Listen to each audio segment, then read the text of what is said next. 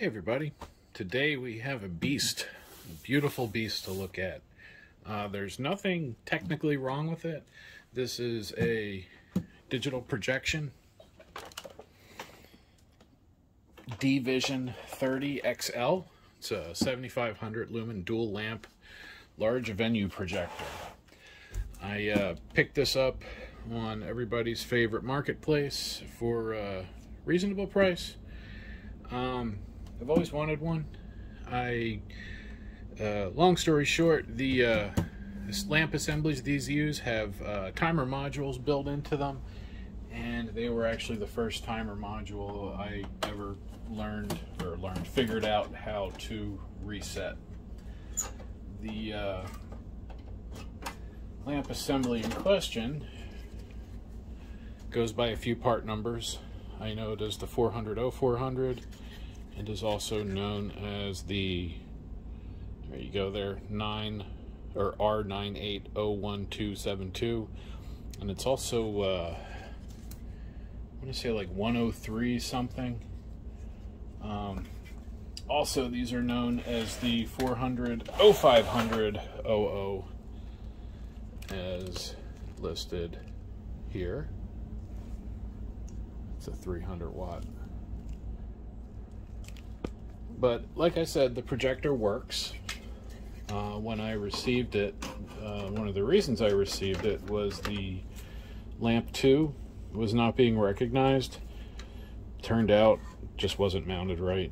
They didn't have it square when they locked the uh, things in, so the chip wasn't making connection, and then therefore it just didn't recognize. So that might be why I got it so inexpensively. Well, inexpensively for this model projector. It wasn't cheap, but it was cheap enough that I could actually afford it. you know, instead of the 15 or 30 grand or whatever. Pardon me, whatever these were new. But what I wanted to do is I wanted to look inside, really give it a good internal once over, see if it needs any cleaning, maintenance. Uh, I want to I want to um, use it for a bit, uh, just to enjoy it, and then I'm going to see about selling it or seeing if, I don't know, maybe there's somewhere I can rent it to or something like that, because it's a really nice projector. It's 1080, dual lamp, you know, 7200 lumens. And uh, I also actually may take the time and connect up some of my test gear, because I've, even though I can reset the uh, lamp timer assemblies or lamp timers on these lamp assemblies I don't really know what the data means. So I may hook up some wires and try and sniff the data lines just to understand what's what. But before we do any of that, let's take the top off. It has those special security Torx. Well, this one doesn't. Some of them do. But I'm just using the uh, security Torx bit, as you can see right there. So let's pop all these silver screws out along the mid area.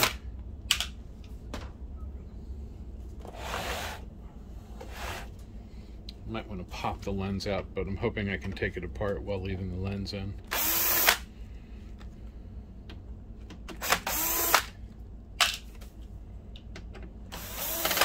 Last time I worked on one of these, it needed a firmware update.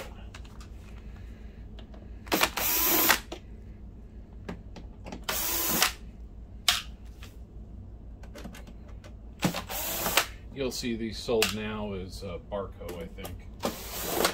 Huh, that one was actually a little loose. Oh, and then up here. And then need to open the uh, lamp doors, I think.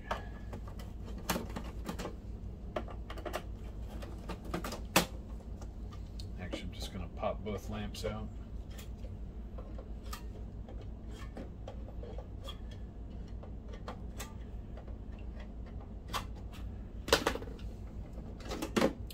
And this is the lamp assembly that wasn't installed right. It was kind of, instead of hitting those pins there, those pogo pins, it was only kind of hitting some of them. But that's the lamp assembly. This is an original. I can't believe they get away with charging what they charge for these. There's actually a thermal fuse down on that wire in there that if these get hot, it'll actually pop the thermal fuse and open up the connection between the uh, lamp and the wire. These just use a uh, Philips 310. It's a 300 watt, 21.8. These can be replaced and I know how to reset these. I also have tons of pre-reset modules for these. So, actually, here's a little story. Many years ago, when I had one of these in that needed the firmware update, I called uh, Digital Projection to try and get some info on getting the firmware update. And I don't know if how news travels or something, but they knew who I was and they wouldn't talk to me. So I called back and pretended I was somebody else and they talked to the pretend person. So I was able to find out what I needed to, but it was kind of funny. There we go. Nice metallized plastic cover. And then just the wow, just the gorgeousness that is digital projection. It's a little dusty, definitely is going to need a cleaning. But let's get you guys over top so you can really see what's going on here. I mean, look at that engineering. You know, these are made in Norway. I I don't have any um, proof, but anecdotally, the insides of these always seem a lot like an InFocus. Every time I see inside a nice InFocus, like one of the older ones, they use these just kind of darker colored green boards, thicker, nicer looking layout. Just, they look like they're made really well. So I don't know if InFocus and projection design had a relationship at one point. Wouldn't be uncommon for an OEM, you know, to build for multiple labels, but this thing's just beautiful. So over here, these look like, yeah, these are serial ATA wires. Yep, that's a serial ATA cable. And they even say ATA on the wire, but it's curious that that cable's going from here, a pair of them, to here. I wonder if that's maybe for these exports. Maybe there's a hard drive that can connect up to that. Maybe it's for the USB. It's hard to say. See, the things that make me think InFocus are when I see stuff like this. I see stuff like this inside older InFocus projectors. Oh, yep. And we're definitely going to need to do some cleaning. There's all that dust we're going to get in there. We'll get that out. So this is going to need a cleaning. Let's kind of do a quick electronic tour. So the lamp assembly's going here. Here's our door switches. So when the doors close, you can hear that. Nice positive click to it, which is nice. And let's see, temperature sensor, like I said. Here's our color wheel cables, dual color wheels. You can actually run this on one lamp or the other or both. So depending on your brightness needs, you can get a little bit extra lamp life or, you know, switch back and forth between them and get a whole lot of lamp life. Then you can even see it marked on the board here. Memory 1 and over here memory 2. These go to little boards that the uh, timer chips plug into. These ICs here, these two I think, drive the color wheels, big voltage regulator, more voltage regulators. These are fans. I suspect those uh, memory modules go through to this flat cable, which then feed in to where the DMD is. We have power supply over here. And then all the control stuff and DMD and just assorted fans. There's a uh, there's one ballast. And the other probably is on the other side. Yep, there's the other ballast. So we have ballast and fans, lamp fan, lamp fan, ballast cooling fan, ballast cooling fan. And then down in here we have a DMD cooling fan. So the back has this really handy LCD display. LCD LCD display, liquid crystal display display. It has this really nice LCD panel that gives us the status of everything. And I think, if I remember, I should be able to, let's see if I, I think open this, does that, that flips out okay. We can disconnect that disconnect that and that. I'm going to leave the power connector. Let's see if this will, yep, that'll come up out of the way now. So we can move. Actually, let's look at this back control panel. Here's the back of it. Actually see a few things worth mentioning. We have a uh, sensor here. That's pressure or temperature. I'm not really sure. I'm going to have to look that up.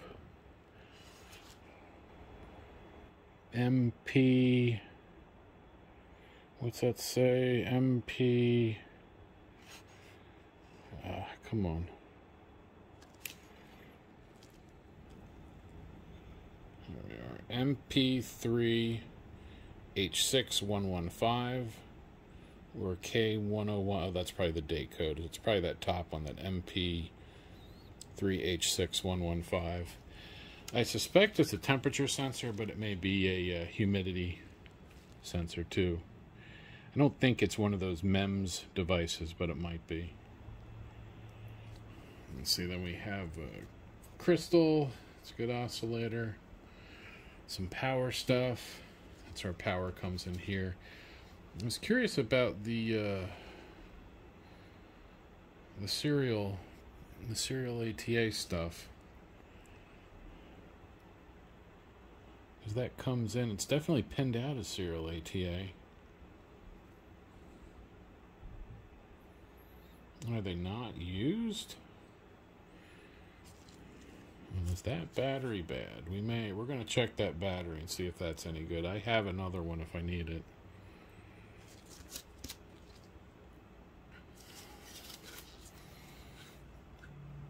I was thinking maybe the serial ATA plugs go to those ports.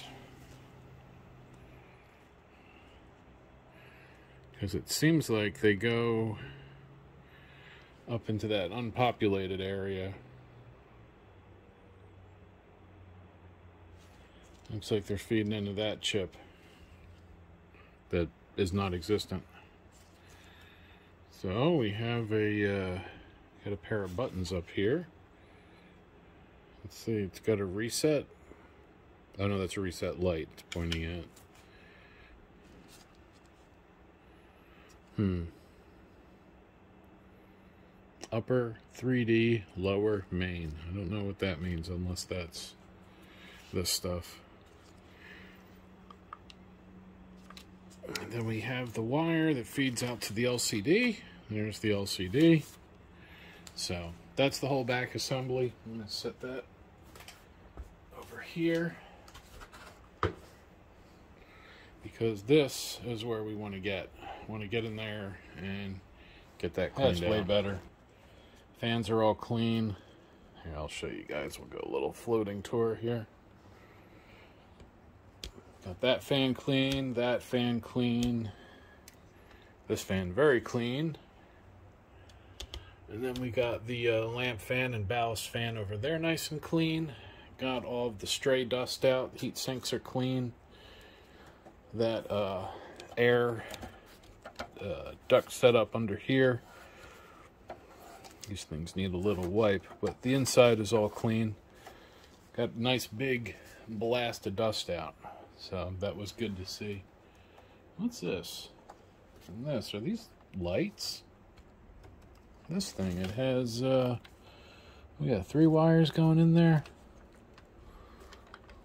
My guess is it's lights, operation lights maybe.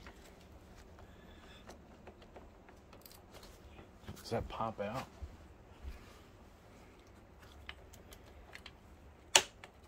Oh yeah, there's, see if we can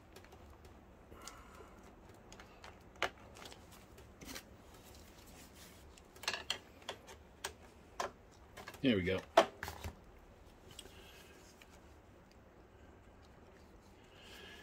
Infrared detector, maybe? Let's see, let's... And this is why I always wanted one to take apart, because I always just wanted to see how the inside worked. Never... Never really got to see inside of one of these when I really wanted to when I repaired the one, it was before I really knew what I was dealing with. Oh, wow, look at that. So now we know there's two infrared receivers. So each corner, I'll let you guys get a good look at those. Each corner on the back, there's one on that side too.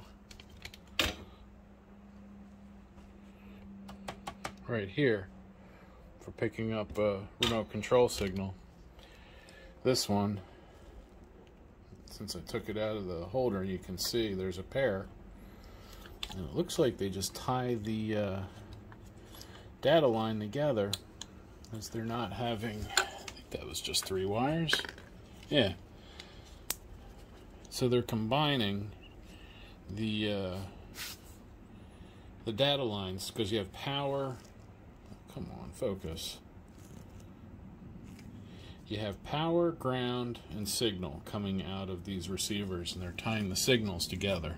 It would make sense. You're, you know, you're catching the same, uh, the same signal for that's coming through, so it's not like you really need to.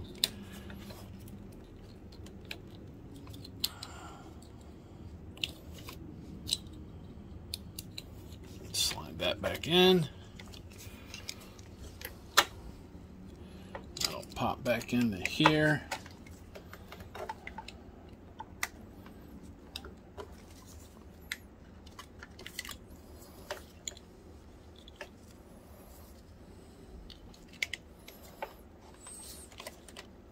There we go. And then this will again slide back down and it will latch back in like that. There we are. So that's back in. And we can put this back panel back on. I'm Gonna reattach this and get the uh, power cable right here. Plug that in. And then the rest of it I'll plug in once I set this back into place. Just drops in. There's no fasteners holding it at this point serial ATA cables that seem like they go nowhere back into place. Must be for an option. This one doesn't have. This uh, series, the dVision 30, there's different sub-variants. There's an XC, an XL, XS, I think. There's XC and XL, I know for sure, because the uh, listing for this actually said it was an XC, which is only 2700 lumen but then I noticed on the serial number label on the bottom it said XL so pretty sure this is the XL I will check the firmware once we fire it up. So before I put the uh, upper cover back on let's tuck that back in. We're gonna put the uh, lamp assemblies back in and then we'll fire it up and see what happens. And this is how to put the lamp assemblies in get your lamp assembly, make sure it has that reddish coating on the lens. If you don't see that, throw the lamp away. We're not going to do that though, this is a good one. We're going to line up the three holes with the three pins. I don't remember which one was lamp 1 or lamp 2. You see some marks on the bottom here is H0, uh, that's like quality stuff I guess, but doesn't really matter. The uh, the chips hold the lamp time, so it doesn't really matter if I switch them. They're still going to run the same way. So you take them, you slide them in until it stops. You'll feel it stop. Then using your finger or a flathead, you want to turn those latches 90 degrees clockwise.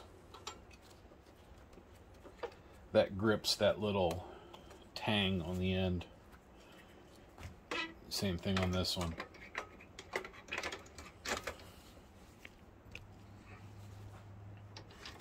See that goes in all the way. You can almost see the chipboard. You can see it wiggling under there. That's now hitting the uh, memory connector. So again, right turn 90 degrees. They're in. So then when I close door number two, push that switch. Now I can't close these because there's nothing to close them into. But I'm going to see if I have anything I can use just to hold them in place so that we can at least try it. Okay, I have a little plastic spudger that I made. That may actually work just perfect. Let's line those up. It's going to set it up there and I'll use that screw hole and then the spudger and that holds this perfectly in place. I like that. All right, I'm going to spin this around and then let's uh, plug it in. Going to plug that in and then this display should wake up. We have all kinds of stuff waking up inside. I saw LEDs flickering everywhere as things wake up.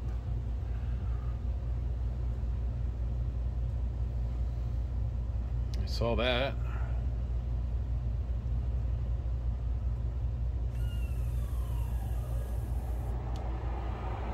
it just woke up. Test firing its fans, I assume. Under here, there's some fans down in there. Yep. And you guys can see the LCD flickering. I can't see that in person. When I heard the, uh, I believe the shutter close. Let's see, source. Oh, let me get you guys down so you can see. Yeah, we have none of that stuff because it's off. But we can scroll down and look at the settings. So it does, I did put the lamps back in the original spot because the first lamp did have 357 hours. And the second lamp, when I first installed it, had zero hours, and now it has two, obviously. Hmm, curious. Look at that, when I do that, it makes the screen wobble.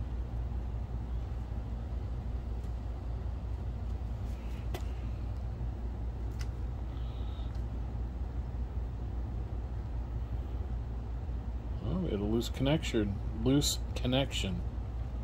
Let's wake that back up. Shutter is open. And the lens installed is a wide zoom lens, 1.24 to 1.6.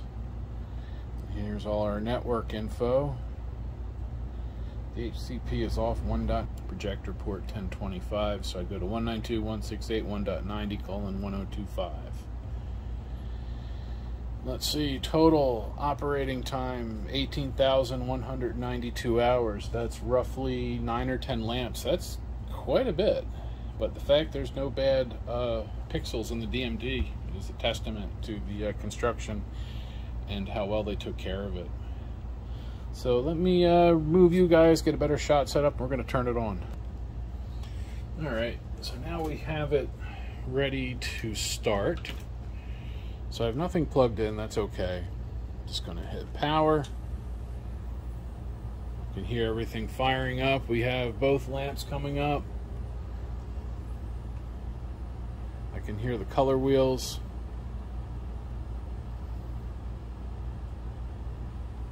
Hear fans. I see fans. I even see on the wall it says warming up. You guys can't read that, but it says warming up. Take my word for it.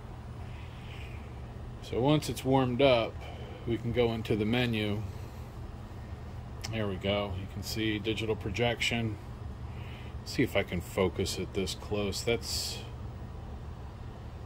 I don't know if I'm going to be able to. Let's see. Focus.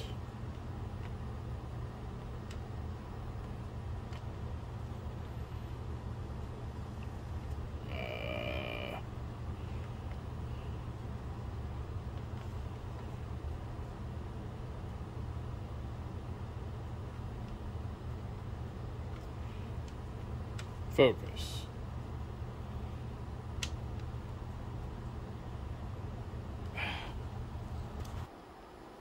Okay, I have this too close to the wall. I'm trying to get the uh, menu into focus here, but I don't think that's going to happen. Let's see, we're getting a little close, but I'm right at the edge of the bench now. So that's not going to work. We're going to have to move this to a different spot. So let me turn it off.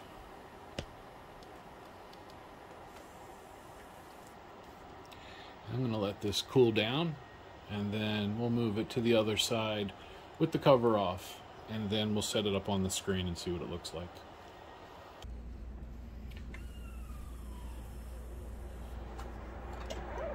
Alright, you hear it warming up. Well, warming up for standby. Alright, let's fire it up. Fans coming on. Ballast firing. Color wheel spinning. Big motor down there. Is that? Left and right. I guess that's lens shift. We have over here U and D up and down. All right. And this is the uh, cable to the actual lens motors. So see if you guys you can see that reflection on my hand. That's it saying warming up. There's it saying digital projection. There's all the dust. And uh, let's get you guys looking at the screen. All right so there's the screen. You can see it's uh, not quite easy to see. Let's get the uh, focus.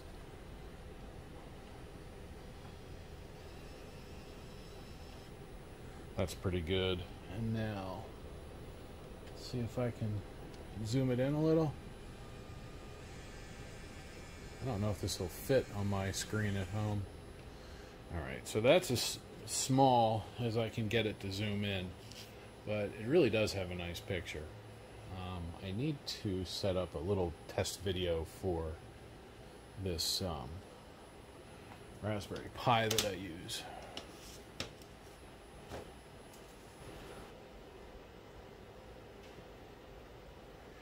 A lot of light bleed with the top off, but you know, is that really all that surprising? There's the inside.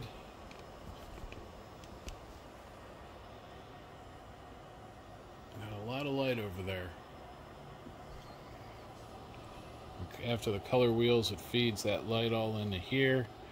Where we got some, we got a big old DMD down in there. Actually, it's not that big, but it's 1080, 1920 by 1080. But I'll see you guys in an hour. And that ran great. Ran beautifully. The uh, Wi-Fi card kept cutting out. So I'm going to hook up a wired network over here just to eliminate that. And then hopefully this thing will be more useful. But let's turn this off. See the lamps turn off. I'll let these fans all cool it down. And then we can set the uh, top back on and put the screws back in. And I can move on to the uh, other pile of stuff I got to do today. So I'll be right back as soon as these fans turn off. Alright, so the internal fans are off. The uh, air chest, that air cavity underneath, just blasted its fan for a little bit. So I think we're good. Let's remove my little little piece there. Actually, I'm going to keep that together so I don't lose it.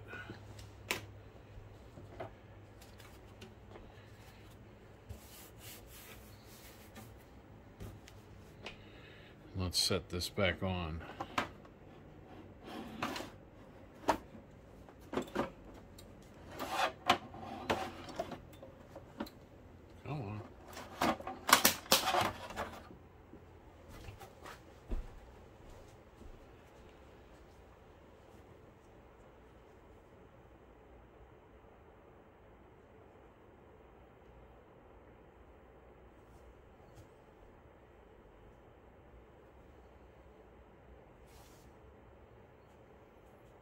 Oh, this one's cracked a little. So I gotta be careful.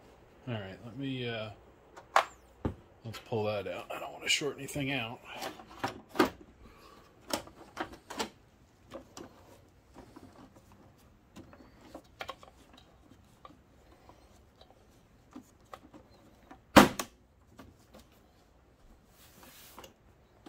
Alright, that's good. I'm to fire it up one more time just to make sure all that stuff's in the right place. All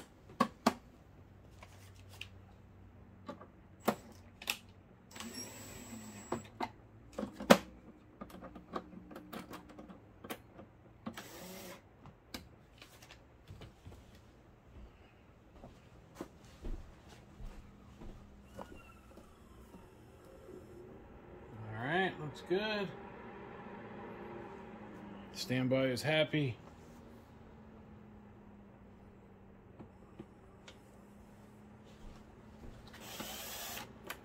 Oh, let me turn my clutch down far enough. All right, that looks good. We have light warming up.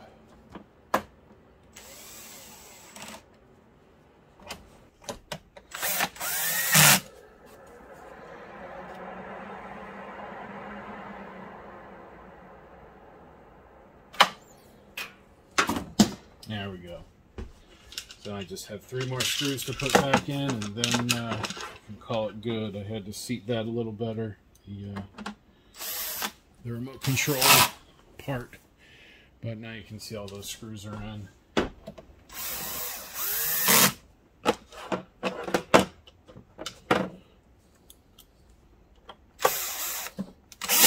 There we go. All right, so now this projector is ready to be used.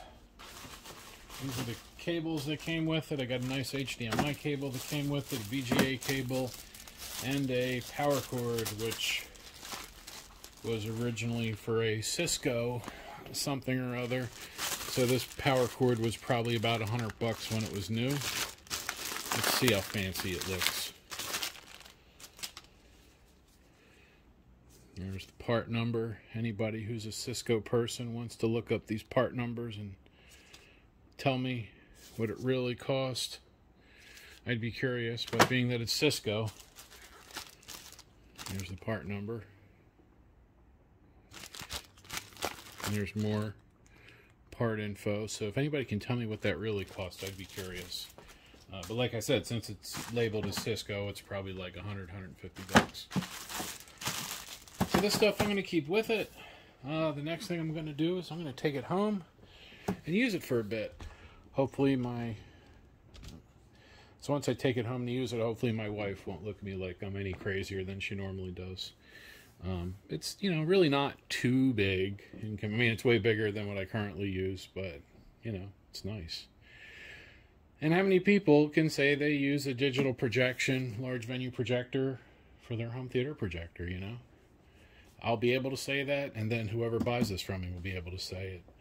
So, you know, if you have uh, any questions about your digital projection dVision 30 series, or really any projector that takes that type of lamp assembly, uh, but most importantly, thank you for watching.